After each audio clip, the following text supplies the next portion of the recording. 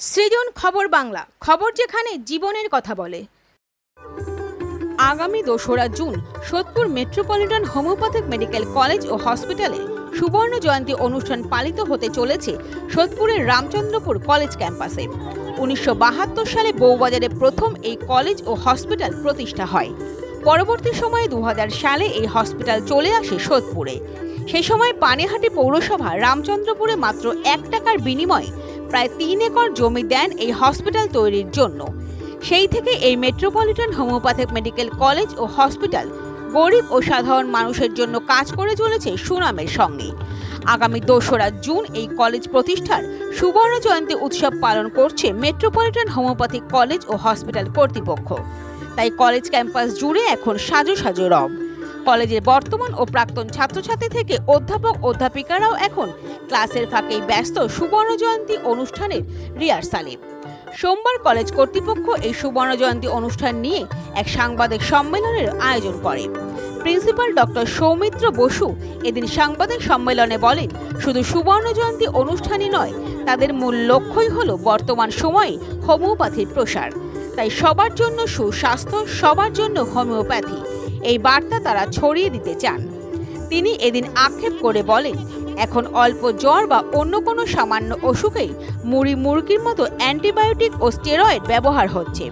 এতে ক্ষতিই হচ্ছে বেশি। তাই আমাদের বক্তব্য, যতটা সম্ভব এগুলোর অপব্যবহার কমিয়ে চিকিৎসকের পরামর্শ মতো এগুলোর ব্যবহার। তিনি এদিন জানান, এই উদ্বোধনী অনুষ্ঠানে উপস্থিত থাকবেন মন্ত্রী চন্দ্রিমা ভট্টাচার্য, সাংসদ সৌগত রায়, বিধায়ক নির্মল ঘোষ সহ বিশিষ্টজনেরা এদিনের সাংবাদিক সম্মেলনে অন্যান্যদের মধ্যে উপস্থিত ছিলেন ডক্টর চন্দ্রনাথ দাস, ডক্টর স্বপন ঘোষ, রজত মোহন ঘোষ, ছাত্র ইউনিয়নের বিকিরণ কুণ্ডু সহ অন্যান্য ছাত্রছাত্রীরাও। আমরা ফিরে আসছি বাকি খবরে একটি বিরতির পর।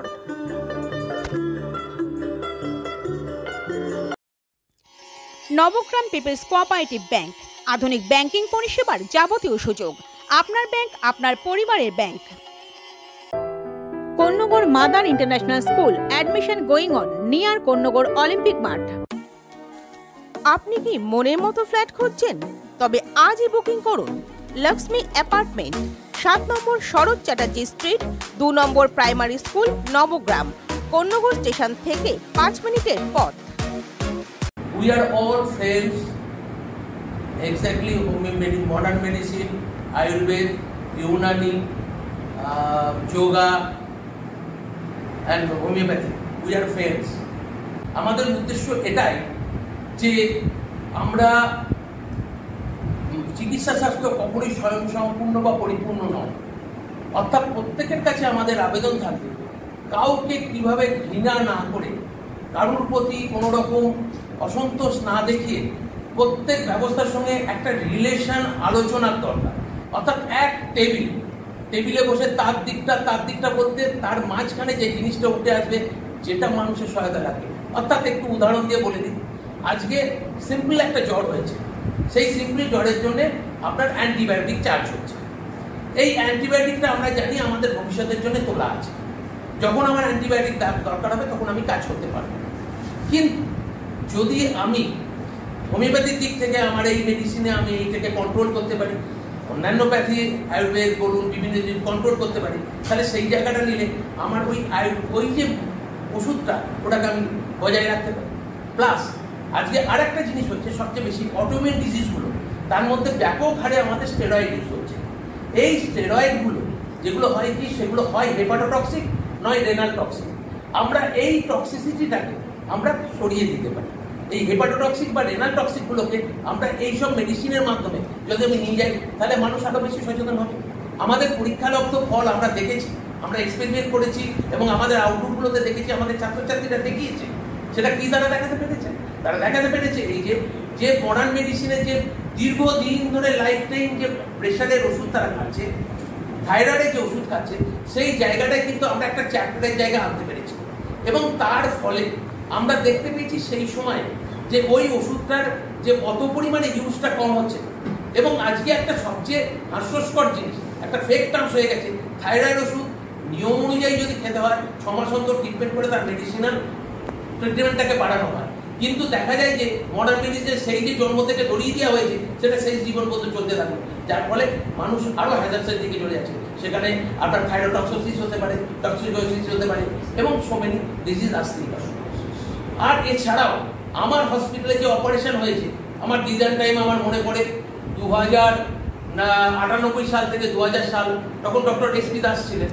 উনি সার্জেন এত ভালো সার্জেন ছিলেন। ডক্টর দাস সেই সময় অপারেশন করার পর উনি বলতেন, আপনারা হোমিওপ্যাথি ওষুধ দিন। প্রি এবং পোস্ট এবং অপারেশন করার পর উনি বলতেন, এত ভালো তোমাদের ওষুধ কাজ করে। জানতাম না তোমাদের ওষুধ সম্বন্ধে রিসার্চ করা দরকার আমি এর একদম বিপরীত পক্ষের লোক ছিলাম। আজকে আমি এর পক্ষে গেলাম। কারণ মনে হচ্ছে হোমিওপ্যাথি আমাদের সবাইকে জানা দরকার, পড়া দরকার, একটা অ্যানাদার ব্র্যাচ মেডিসিনকে জানা দরকার। এটাই হচ্ছে আমার, আজকের দিনে মেসেজ যে আমরা সবাই এক হই, এক টেবিলে বসে। আলোচনা করি যার যেটা ভালো সেটা দিয়ে মানুষের সেবায় যাতে করতে পারি, সেটাই আমাদের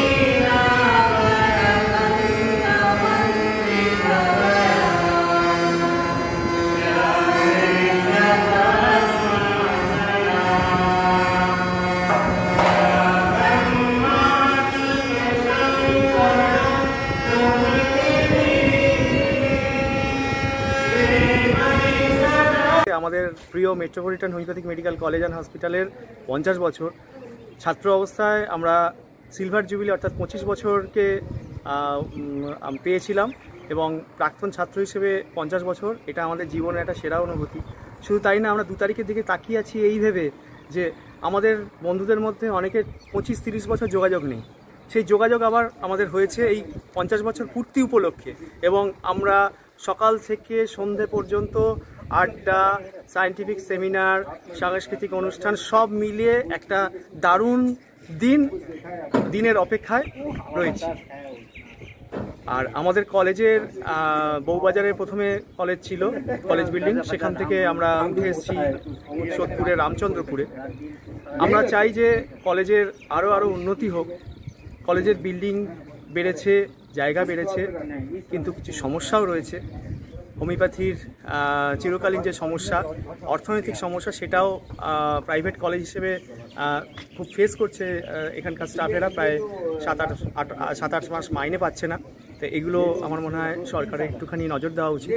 আর কলেজের ঠিক পাশেই আমাদের পানিহাটি পৌরসভার একটি বড় গার্বেজ রয়েছে, যেটি আমার মনে হয় যে একটু পৌরসভার পৌরপ্রধান বা এমএলএ সাহেব যদি নজর দেন, কারণ এখানে অনেক মানুষ চিকিৎসা করাতে আসেন। অন্তত বেলঘড়িয়া এক্সপ্রেসওয়ের কাছেও যে এইরকম গার্বেজ সেখানে যে একটা টিন দিয়ে ঘিরে দেওয়া হয়েছে, যাতে এটা বৃষ্টি নন্দন হয়, সেটা আমার মনে হয় পৌরসভার চিন্তা করা উচিত। তাহলে কলেজের আরও সুন্দর হয়ে উঠবে এবং আমরা চাই হোমিওপ্যাথির উন্নতি আমরা চাই প্রকৃত হোমিওপ্যাথি ট্রিটমেন্ট করে মানুষের সেবা করে মানুষকে ভালো রাখতে এবং সেই সঙ্গে আমরা সকলকে আহ্বান জানাচ্ছি, বর্তমান ছাত্র, প্রাক্তন ছাত্র, প্রাক্তন শিক্ষক সবাইকে। দু তারিখে দোসরা জুন, সকাল সকাল মেট্রোপলিটন হোমিওপ্যাথিক মেডিকেল কলেজে চলে আসুন, যেখানে আমরা উপভোগ করব সুবর্ণ জয়ন্তী বর্ষ। সৃজন খবর বাংলা নিউজ।